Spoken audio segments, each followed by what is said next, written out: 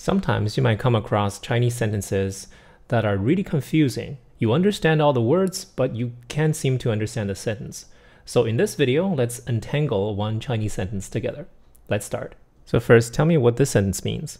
我时差还没倒过来呢。我时差还没倒过来呢。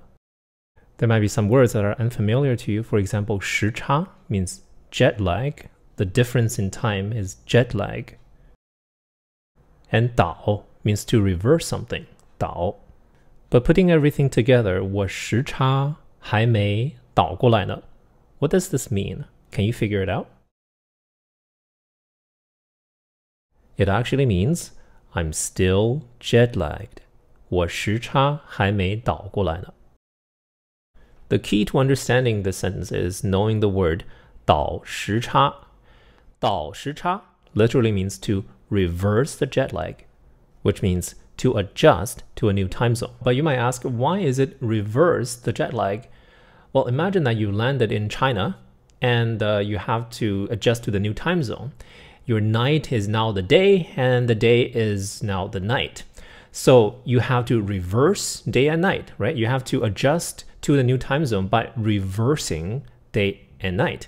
So that's why we call it 倒时差, literally reversing the jet lag. For example, 他现在是不是在倒时差呢？他现在是不是在倒时差呢？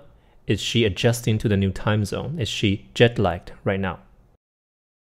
Another example, 他经常出国倒时差不成问题。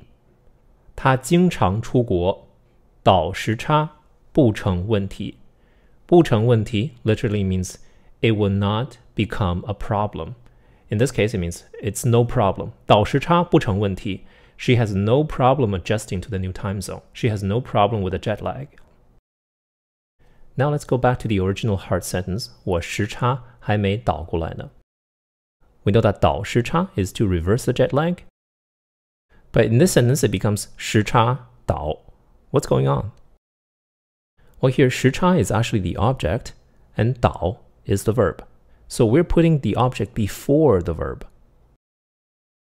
You might think of it as I, as for the jet lag, I haven't turned it over yet.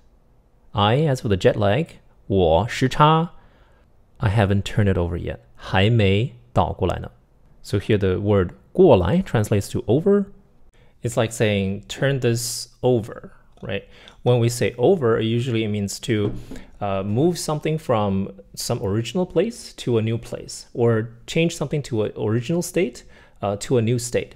So 把它倒过来 means to turn it over to actually produce a result to change its state. So that's what 过来 is expressing. It's like the English word over. And that's how the sentence works. 我时差还没倒过来呢. I, as for the jet lag, I haven't reversed it over yet. That means I'm still jet lagged. All right, now let's do some practice and see if you can understand the following sentences. What does this sentence mean? 我饭还没吃完呢。完 means to finish, by the way. 我饭还没吃完呢。What does this sentence mean?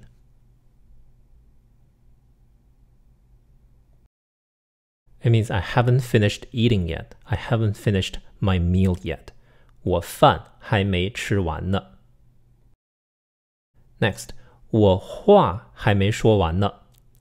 我话还没说完呢。what does this mean? That means I haven't finished talking yet. I'm not done talking yet. I haven't finished my words yet. 我话还没说完呢。我 as for me, 话 my words 还没说完呢。I haven't said them all yet. 我话还没说完呢。I haven't finished talking yet. All right, the last one. 我作业还没写完呢，我作业还没写完呢。What does this mean? Right, I haven't finished my homework yet. 我作业还没写完呢。我作业还没写完呢。And that's it. In this video, we learned how to untangle this sentence. 我时差还没倒过来呢。 It means I'm still jet lagged. If you're enjoying this, please give it a thumbs up and uh, let me know your thoughts in the comments below. And I'll see you in the next video. Bye.